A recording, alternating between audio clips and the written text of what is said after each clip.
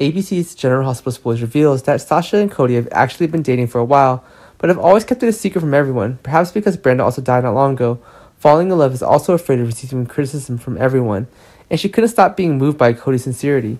So Cody recently proposed to her and she agreed.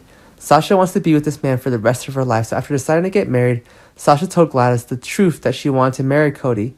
This shocked Gladys, and she didn't expect the two of them to hide for so long. Gladys was angry and vehemently proposed, and she believes that Sasha betrayed her son. Gladys couldn't accept Sasha's getting married so quickly. If Sasha gets married, Gladys will disown her. Will Sasha and Cody use any means to convince Gladys to agree? Did Gladys mean to prevent them from ha- breaking up, and what will happen?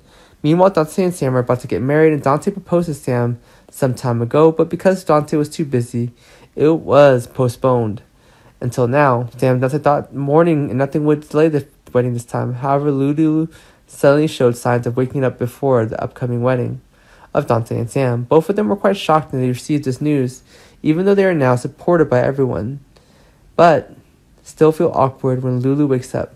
These things prevent her and Dante from having a full wedding. It seems that there's a gap between Sam and Dante. Will Sam and Dante put off the wedding, or will Dante go back to Lulu and break up with Sam? Can Sam and Dante's love story have a good outcome? Besides, Michael Vat Dex is and has found the opportunity to destroy Sonny in the upcoming Pikeman shipment. They try to prepare for time so they can create Sonny. Michael and Dex both think their plan will definitely work. And Michael and Dex didn't realize this time that Pikeman's shipment was because Sonny intentionally exposed his loopholes. Recently, Sonny guessed that someone wanted to destroy him, but he still can't find that person, so I use this method to entice that person to appear.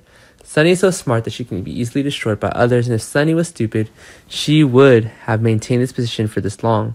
Will Michael and Dex be trapped, and how will they be punished if they soon find out that the two of them want to destroy him? And how will things turn out?